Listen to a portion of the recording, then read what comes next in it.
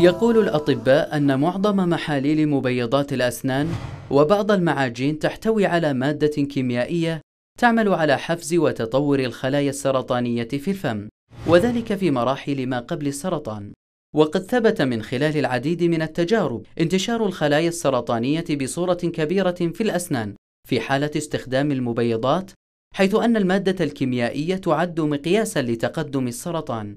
فالعامل المبيض يعمل كمحفز ومسرع للنمو في تجويف الفم ويعد الوصول لأسنان بيضاء ليس مستحيلا وذلك من خلال العودة للطبيعة باستخدام السواك والحرص على عدم إبقاء فضلات الطعام بالفم عن طريق المضمضة بالإضافة إلى استشارة الطبيب المتخصص قبل استخدام معجون الأسنان حتى لا تتعرض الأسنان للضرر. مع الحرص على غسلها بطريقة جيدة مرتين يوميا بعد الغداء وفي المساء.